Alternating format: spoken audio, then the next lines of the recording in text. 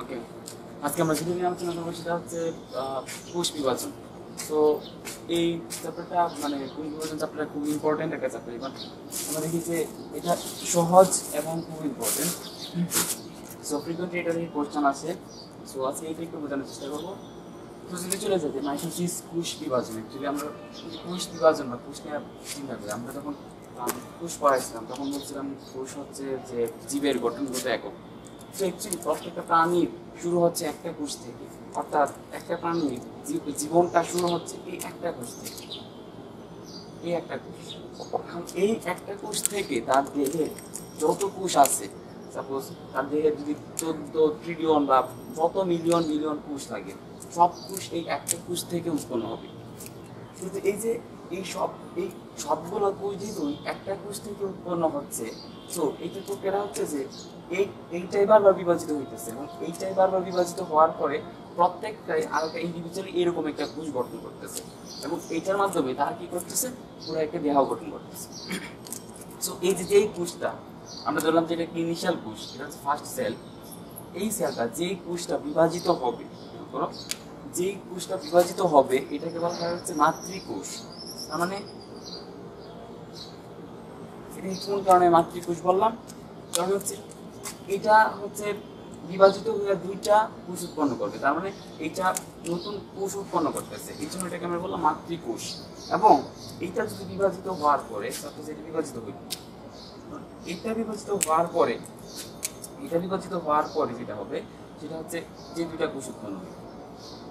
এই দুইটাকে, এই দুইটা কোষকে আমরা বলব অপত্য কোষ বা ডটার সেল। Daughter cell. একটা হচ্ছে মাদার সেল আর এরপর থেকে মাদার সেল থেকে আমরা যে কোষগুলো পাইলাম, সেগুলো হচ্ছে ডটার সেল খেয়াল করো। অপত্য কোষ বা ডটার সেল এখন কোশ্চেন হলো যে কোন কারণে এই দুইটা এই দুইটা কোষকে আমরা ডটার সেল বলতেছি?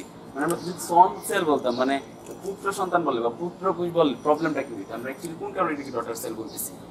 আচ্ছা এটা কথা হচ্ছে আমি একটু আগে বলছি যে এই এখন একটা প্রাণীদের যত কোটি কোষ দরকার, সব কোষ কিন্তু এইটা থেকেই উৎপন্ন হয়। অর্থাৎ এইটা থেকে বিভাজিত হয়ে দুইটা হয়েছে এই দুইটা পরবর্তীতে আবার বিভাজিত হয়ে দুইটা হবে, এই দুইটা পরে ওই দুইটা আবার বিভাজিত সবগুলো বিভাজিত হইতে হবে। মানে গুণত্ব ধারায় বাড়তে থাকবে তো এই যে এই কোষটা এই কোষটা পরবর্তীতে বিভাজিত হবে। কারণ কি? দেহ গঠনের জন্য আরও অনেক কোষ প্রয়োজন। যেহেতু এই কোষটা পরবর্তীতে বিভাজিত হবে, অর্থাৎ এই কোষটা যেহেতু পরবর্তীতে বিভাজিত হবে, যেহেতু ফিউচারে এইটা একটা মাতৃ সেল সরি মাতৃকোষ বা মাদার সেলের মতো আচরণ করতেছে। কারণ কি? এটাও যেহেতু ভবিষ্যতে বিভাজিত হবে দ্যাট মিনস এটা ভবিষ্যতে কোনো সময় একটা পর্যায়ে এরকম ছিল। এটা থেকে দুইটা কোষ উৎপন্ন হবে এখন এই দুটাকে আমরা বলব যে তার সন্তান, কিন্তু এইটা হচ্ছে তার মাতৃকোষ।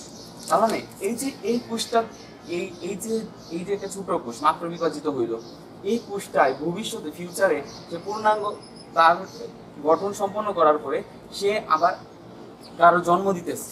দ্যাট মিনস ছোট অবস্থায় সে একটা মেয়ের মতো আচরণ করতেছে। তো এই ছোট অবস্থায় যখন সে মেয়ের মতো আচরণ করতেছে, এই জন্য এটাকে আমরা বলতেছি ডটার সেল এইটাই। সো আমি কি বললাম যে যে একটা কোষ, যে কোষ থেকে আমরা অন্যান্য কোষ পাবো, সেটা হচ্ছে, যে কোষটা বিভাজিত হচ্ছে, সেটা হচ্ছে মাতৃকোষ বিভাজনের ফলে আমরা যে কোষগুলো পাচ্ছি, সেগুলো হচ্ছে অপত্য কোষ। সো এই যে কোষ বিভাজন এটার কিছু প্রকারভেদ আছে। সাপোজ ধরো মাইটোসিস কোষ বিভাজন নিউসিস কোষ বিভাজন, তারপর হচ্ছে অ্যামাইটোসিস কোষ বিভাজন। সো আমি আজকে যেটা নিয়ে আলোচনা করব, সেটা হচ্ছে মাইটোসিস কোষ বিভাজন। খেয়াল করো। একটা বিষয় হলো যে, আমরা যখন সেল করছিলাম, তখন এটা হচ্ছে একটা সেল তখন এই জায়গায় ছিল একটা নিউক্লিয়াস তারপরে এই জায়গায় বিভিন্ন অঙ্গাণু ছিল। মোস্ট ইম্পর্টেন্ট একটা কথা হচ্ছে যে, এই নিউক্লিয়াসের ভিতরে এরকম নিউক্লিয়াসের মধ্যে ক্রোমাটিন চালিকা ছিল এবং আমি বলছিলাম যে এইগুলাই পরবর্তীতে ক্রোমোজোম হবে। এখন, একটা প্রাণীর ক্ষেত্রে ক্রোমোজোম নির্দিষ্ট এবং ক্রোমোজোম শুধুমাত্র নির্দিষ্ট না, ক্রোমোজোমের ভিতরে যে নকশা আছে, অর্থাৎ যে ডিএনএর যে নকশাগুলো আছে, ঠিক এইটাও নির্দিষ্ট। অর্থাৎ এরকম যদি নকশা থাকে যেটা মানুষের। তাহলে কি বললাম? যে এই যে ক্রোমোজোম আছে, এই নিউক্লিয়াসের ভিতরে যে এই ক্রোমাটিন চালিকার মতো ক্রোমাটিন চালিকার মধ্যে যে ক্রোমোজোমগুলো আছে। তো এই ক্রোমোজোমগুলো শুধুমাত্র ক্রোমোজোমের সংখ্যাটা একটা প্রাণীর ক্ষেত্রে নির্দিষ্ট না, এই যে ক্রোমোজোমের যে ভিতরে যে ডিএনএ বা যে নকশাটা, এই নকশাটাও প্রত্যেকের ক্ষেত্রে কনস্ট্যান্ট অর্থাৎ প্রত্যেকের ক্ষেত্রে একই থাকবে। তার মানে এই যে তার মানে এই যে এইটার কথা বললাম। সো এই কোষটা যদি বিভাজিত হয়ে যায়, তখন আমি দেখব যে ব্যাপারটা হচ্ছে এরকম যে কোষকে যদি বিভাজিত হইতে হয়, কোষ যদি বিভাজিত হয়ে যায় দুইটা পূর্ণাঙ্গ কোষ গঠন করে সাপোজ দুইটা পূর্ণাঙ্গ কোষের আমি ছবি আঁকি, তো দুইটা পূর্ণাঙ্গ কোষ হলো এইরকম।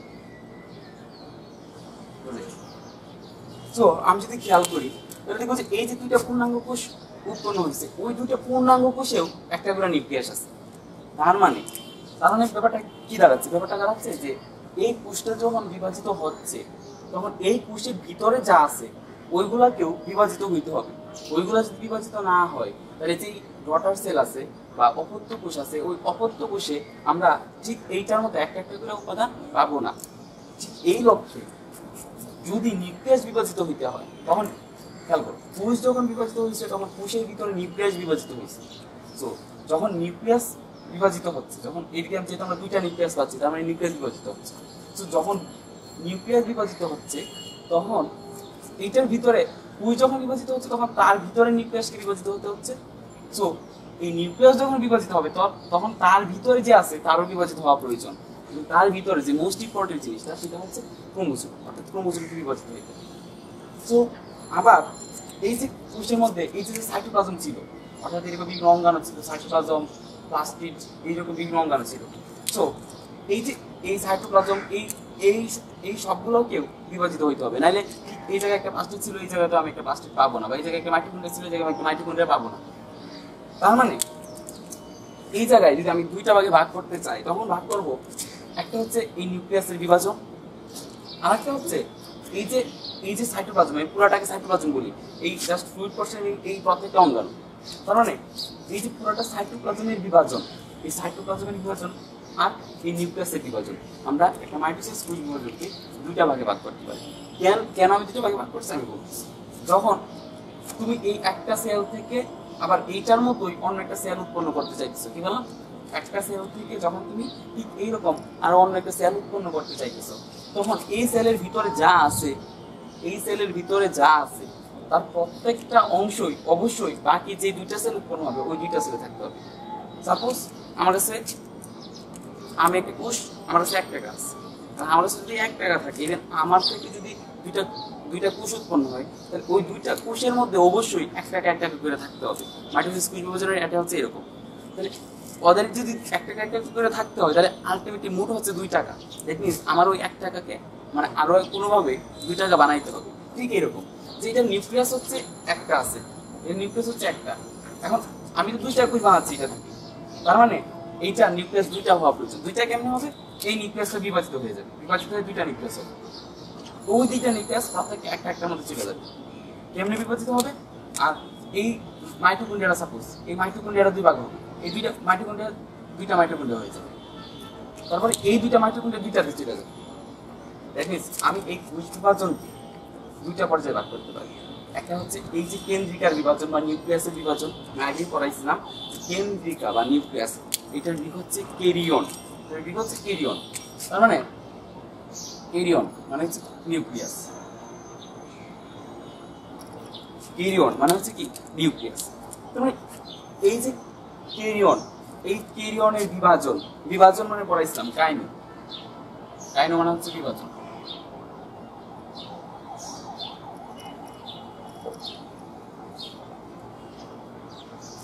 কি বললাম? কাইনো মানে হচ্ছে বিভাজন, আর সিস মানে হচ্ছে প্রক্রিয়া।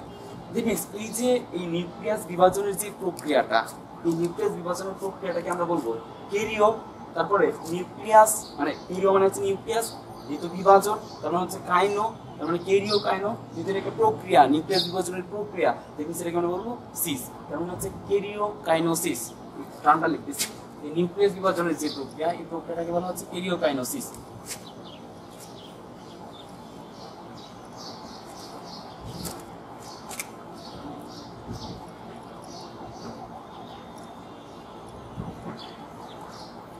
তারপর কি বললাম যে এই যে নিউক্লিয়াস এই নিউক্লিয়াসটাকে বলা হয় কি কিরিয়ন, এটার যে বিভাজন, এই জন্য এটাকে বলা হচ্ছে কাইনো, যেহেতু এটা একটা বিভাজন প্রক্রিয়া সেটা এটাকে বলা হয় সিস তার মানে নিউক্লিয়াস বিভাজনের যে প্রক্রিয়া, এটাকে বলা হচ্ছে কেরিও কাইনোসিস কেরিও কাইনোসিস কারণ এটা হচ্ছে নিউক্লিয়াস বিভাজনের প্রক্রিয়া, এটাকে বলা হচ্ছে কেরিওকাইনোসিস। এখন আমরা যদি চিন্তা করি যে এই যে এই নিউক্লিয়াসটাকে সরাই নিলাম সাপোজ এই নিউক্লিয়াসটা যখন সরাই নিলাম, তখন যা পইরা থাকল, যা অঙ্গাণু পইরা থাকল, যা পইরা থাকল, এই সব কিছুকে বলা হয় সাইটোপ্লাজম তার মানে এই যে এই সাইটোপ্লাজমটাকেও কিছু বিভাজিত হইতে হবে, অর্থাৎ একটা প্লাস্টিককেও দুইটা প্লাস্টিক হইতে হবে, একটা এন্ডোপ্লাজমিক রেটিকুলামকেও দুইটা এন্ডোপ্লাজমিক রেটিকুলাম হইতে হবে। এই যে এই, এইগুলোর বিভাজন বা এই যে এই জায়গার যে এই ফ্লুইড অংশের বন্টন, এই যে এইটার বিভাজন, এই দ্যাট মিনস নিউক্লিয়াসকে যখন সরাই নিলাম, নিউক্লিয়াস যখন ছিল, এটাকে আমরা বলতেছি প্রোটোপ্লাজম নিউক্লিয়াসকে যখন সরাই নিলাম নিউক্লিয়াসকে যখন আমরা কেরিওগানিস হিসেবে নাম করে ফেললাম, তখন আমরা এই পার্টটাকে, এই সাইটোপ্লাজমের বিভাজনের পার্টটাকে বলতে পারি সাইটোকাইনোসিস। সাইটো আসছে সাইটোপ্লাজম থেকে, কাইনো মানে হচ্ছে বিভাজন, সিস মানে হচ্ছে প্রক্রিয়া। মিনস আমি কি বললাম? মাইটোসিস বিভাজনের কোষ বিভাজনের দুইটা কোষ বিভাজনকে আমরা দুইটা পর্যায়ে ভাগ করি। একটা হচ্ছে কেরিওকাইনোসিস আর হচ্ছে সাইটোকাইনোসিস। কেরিওকাইনোসিস মানে হচ্ছে নিউক্লিয়াস বা কেন্দ্রিকার বিভাজন আর সাইটোকাইনোসিস মানে হচ্ছে সাইটোপ্লাজম মানে সাইটোপ্লাজমের বিভাজন।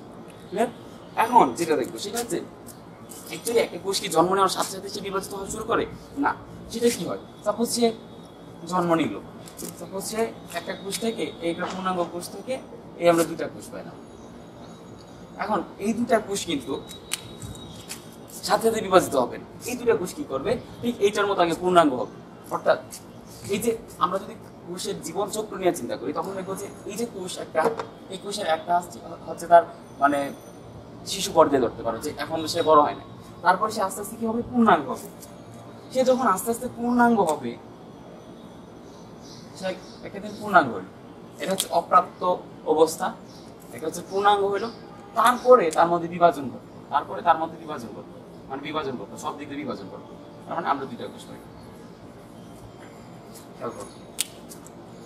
এই যে, এই এই যে কোষের একটা জীবন চক্র, এই যে এই যে এই যে কোষের একটা জীবন চক্রের মধ্যে আবদ্ধ তো এইটা হচ্ছে তার অপ্রাপ্ত অবস্থা।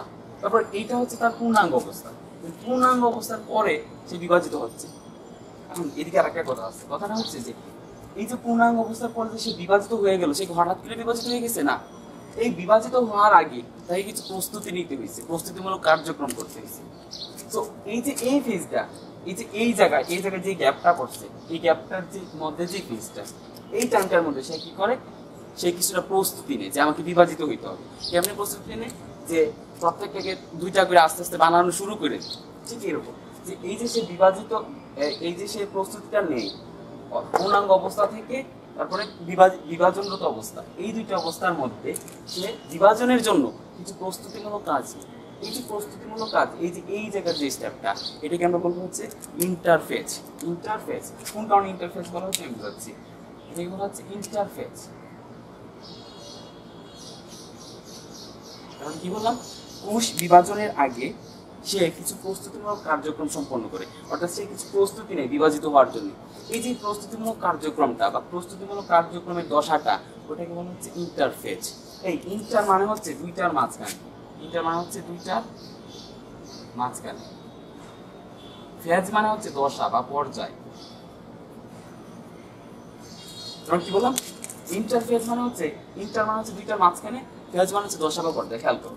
এই যে অপ্রাপ্ত এই যে প্রাপ্তবয়স্ক আর এই যে বিভাজনরত অবস্থা, এই দুইটার মাঝখানে একটা স্টেপ হলো ইন্টারফেস তার মানে যেহেতু দুইটার মাঝখানে মিনস আমরা বলতেছি ইন্টার আর যেটা এটাকে দশা বা এটাকে পর্যায় দ্যাট মিনস এখানে আমরা আনতে পারি ফেজ এখন সো এটা মোটামুটি সম্পূর্ণ হলো ঠিক আছে? সো এখন আমরা চলে যাব হচ্ছে পিরিওকাইনোসিসের দিকে।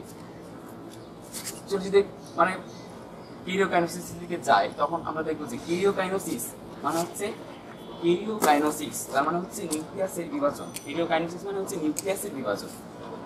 কিরিও কাইনোসিস খুব ইম্পর্টেন্ট কেরিওকাইনোসিস। এখন যদি কেরিওকাইনোসিসটা দেখি, তখন দেখব যে কেরিওকাইনোসিসকে মানে হচ্ছে নিউক্লিয়াসের বিভাজন প্রক্রিয়াটাকে আমরা পাঁচটা ভাগে ভাগ করছি। তো একটা ভাগ হচ্ছে প্রোফেজ। প্রোফেজ। তারপর হচ্ছে প্রোমেটাফেজ তারপর হচ্ছে মেটাফেজ হচ্ছে অ্যানাফেজ টেলোফেজ